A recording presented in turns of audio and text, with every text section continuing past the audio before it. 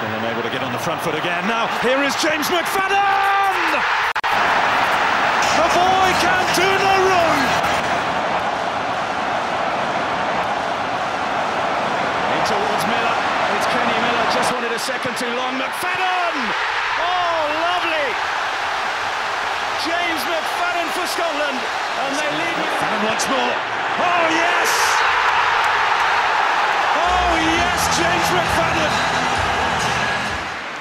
Now McFadden beyond Shamilakovsky. Still McFadden. Still James McFadden. Now can he finish this off? Oh yes! That is James McFadden. That is 2-0 for Scotland. In from James McFadden. It's a great delivery. McFadden can try again. What an exchange with Darren Fletcher! James McFadden for Scotland! 21 minutes gone! Can you believe it?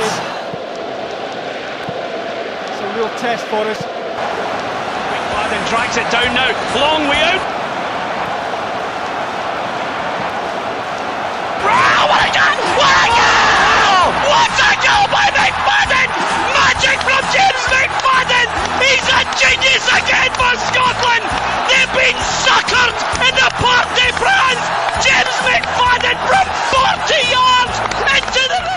There's only one player in the pitch that can score that goal, and that is James McFadden. He's done it again! James McFadden scores for Scotland!